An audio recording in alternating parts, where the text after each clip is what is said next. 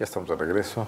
Es un gusto tener conmigo a Carla Gasca, periodista muy destacada en el, en el ámbito y en el terreno de la actividad cultural, quien se integra a Zona Franca, también a Revista de la UNA, como colaboradora y se inaugura pues, cubriendo el Festival de Escritores de San Miguel Allende. Carla, muchas gracias Sí, por estar aquí. es.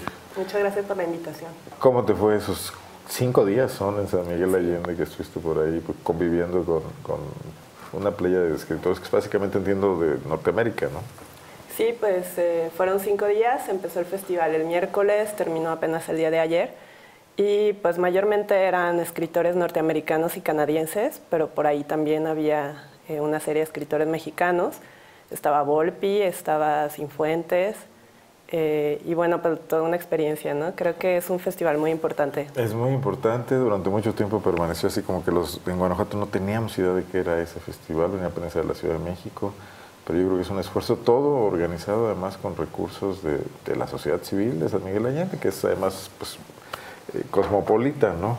Claro, y creo que sí es algo que, que destaca porque, bueno, tiene 13 años ya el festival y, y van alrededor de 8.000, 9.000 personas de, de distintas partes. Eh, bueno, el público estaba compuesto mayormente por norteamericanos. Es cara la entrada, entonces, bueno, en dólares no tanto, en pesos sí, entonces- pero, pero bueno, pues hay que sobrevivir y, y pagar todos los costos, ¿no? Claro, pero Dan becas y ayudan a, a jóvenes escritores y a niños, etc. es justo lo que iba a decir, que, que a pesar de que es eh, un festival, bueno, costoso, eh, sí tiene varias oportunidades para los escritores que quieren participar, sobre todo para los jóvenes. Y pues es solo cosa de que se acerquen a los organizadores del festival y yo creo que sí es una, una oportunidad que vale la pena aprovechar. Con los escritores, ¿cómo te fue? ¿Con quiénes platicaste?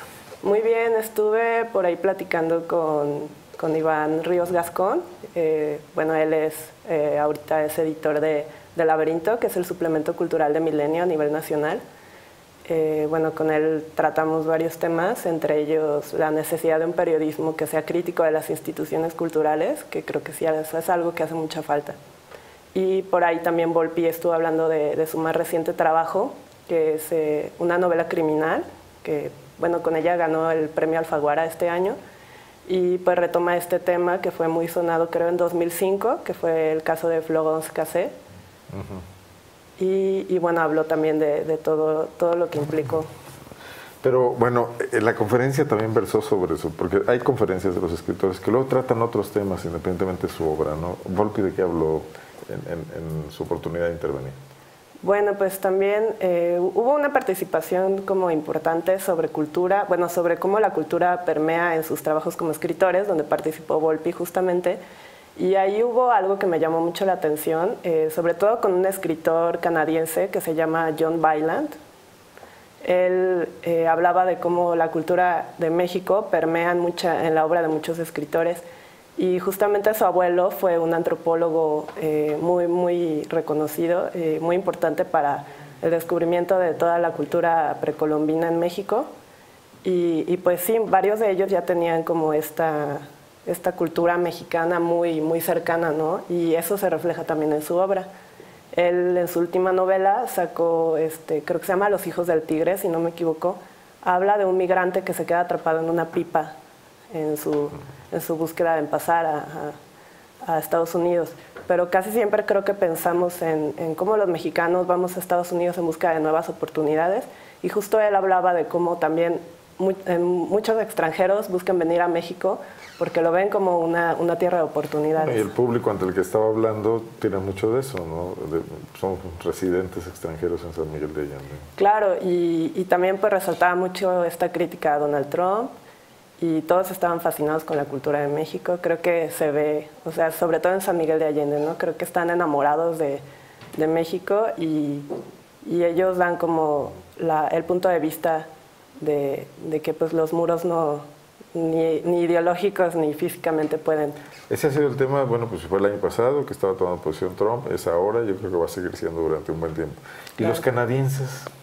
Pues los canadienses estaban, bueno, se hacían mucha burla entre ellos de cómo, de cómo la gente pensaba que ellos también eran norteamericanos, ¿no? Y de que, que sí, no tenían una manera ahí como de, de, distinguirse. de distinguirse, pero también, eh, pues siempre con su participación muy activa, eh, fueron, bueno, en este caso no era, no era como la mayoría, la mayoría fueron norteamericanos, pero, pero siempre estuvieron ahí participando en las mesas y, y pues sí, siempre buscando como, hey, oigan, somos canadienses, no somos norteamericanos y explicándole a la gente en qué consistía también su cultura, ¿no? ¿Platicaste con alguno de ellos también en la entrevista? Pues mayormente fue, bueno, el, el, que tuvo como mayor participación, como te decía, fue John. Y, también, bueno, él hablaba de cómo estuvo viviendo un tiempo en Oaxaca y, y cómo sus hijos tenían que, bueno, cómo su familia tenía que adaptarse a esta situación tanto climatológica como de, de, la cultura, que a veces es complicada para ellos, pero que al final termina enamorándolos, ¿no? Y, y creo, que, creo que eso le pasa a todos en realidad. Claro. Bueno, y hay que decir, el festival el año pasado tuvo eh, una presencia de una periodista que es eh, muy, muy emblemática, muy combativa y que encabeza muchos movimientos en este momento, que fue Naomi Klein. Creo que este año no hubo presencias tan mediáticas, pero son escritores muy importantes de cualquier manera, ¿no? Sí, pues en este caso también estuvo Felipe Restrepo Pombo. Él es colombiano, pero bueno, él ahorita es el editor de la revista Gato Pardo. Y él tuvo participación en una mesa que hablaba sobre los escritores, el, como el rol de activista de los escritores en tiempos de violencia. Y justo él participó en, una, eh, en un proyecto editorial muy importante, que, bueno, muy interesante, que se llama La ira de México, que por ahí tiene textos de, de este Sergio González y de otros periodistas mexicanos y hablan justamente de esta parte de la violencia, la violencia que se vive en México y cómo la, cómo la observan los periodistas. Y él, él decía que aquí en México no ha tenido como tanto alcance ese libro, pero que tanto en Reino Unido como en Australia ha tenido mucho, mucho eco y, y, que hay una parte dedicada en el libro a, a los periodistas desaparecidos o muertos en, en, nuestro país y que tuvo un problem, tuvieron problemas ahí en la edición porque eran más de 20 páginas. Entonces, él se centró mucho en hablar como del poder de la escritura para dar a conocer hay problemas más interés fuera de México que aquí en México lo que nos está pasando como país con la violencia y el trabajo complicado de los periodistas ahora. Así es, básicamente eso fue lo que, lo que nos lo que habló y, y bueno, también Volpi por ahí en, en, en, su momento de participar habló, habló justo de, de, los clichés y de cómo somos vistos los mexicanos en el extranjero, eh, como todo, todo este rollo de cómo hablamos, de que si somos como Speedy González o no. Bueno, y, la, y, la, película de Coco va a venir a ratificar muchas de esas cosas en otros sí, países. Claro. Pero pues al final de cuentas, hablando con tanto como con los canadienses como norteamericanos, te das cuenta de que no es tanto ¿no? los clichés, o sea que sí tiene una visión muy amplia de... Bueno, ellos viven aquí, ¿no? Y, y, sí. y los escritores han interactuado mucho con nuestro país. Ah, y, y, también tuve la oportunidad de hablar con Rita Dove, que ella es la segunda persona afroamericana en haber ganado el premio Pulitzer de poesía. ¿verdad? Sí, es una poeta increíble. Eh, y, y pues ya por allí la, la, pude entrevistar, es muy humilde, yo creo que eso es como algo que a veces se les va de las manos a varios escritores, pero ella siempre mantuvo como esa, esa postura. ¿Qué te dijo Rita Dove? Bueno, ella hablaba de, de que cuál es como, como la función de la poesía, que mucha gente como no, no, pueden, no, no tiene como, cree más bien que no tiene la capacidad de entender la poesía. Leí tu nota, sí.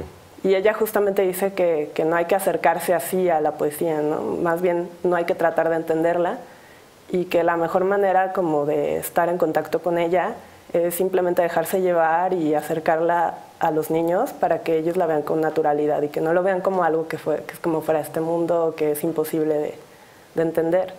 Y, que no como algo exquisito, ¿no? Sí, claro, o sea, es como... Y ella decía, es que muchas personas me dicen, oye Rita, es que no entiendo la poesía.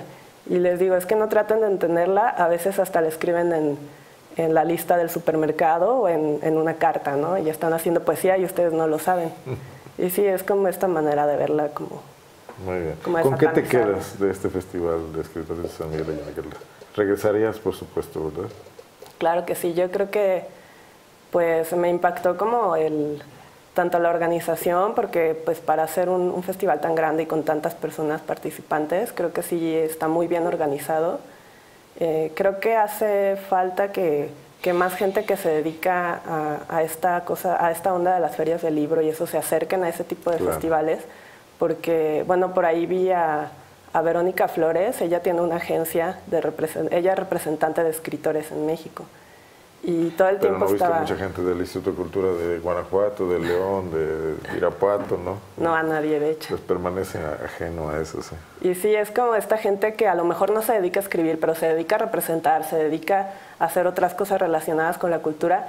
Y este tipo de festivales enriquecen muchísimo, eh, no Claro. solo a los periodistas y participantes, sino también a, a todos los que se dedican de alguna u otra forma al, Cuando hemos estado ahí, a quienes sí hemos visto, y creo que sí ellos le dan su lugar a esto, es a, a Radio Universidad de Guanajuato, con su programa ese de librero. Creo que ellos sí están eh, asistiendo, igual que nosotros lo hemos hecho ahora con tu presencia y antes tratando de estar ahí eh, con el programa completo, como hicimos el año pasado. Ya, ya volveremos. Sí, pues gracias. Bueno, Carla, muchísimas gracias. Pues estaremos aquí eh, hablando de cultura, de lo que pasa en torno a la cultura, de las instituciones culturales también, Claro. a lo largo de los próximos meses. ¿no? Sí, hay que ser críticos de, de la cultura. Nos gusta a nosotros eso también. Bienvenida a Zona Franca, Carla Muchas Gasca, gracias y gracias periodista. por la invitación. Muchísimas gracias a ti y que se integra ahora con nosotros a este segmento y en Francamente. Yo voy a una pausa.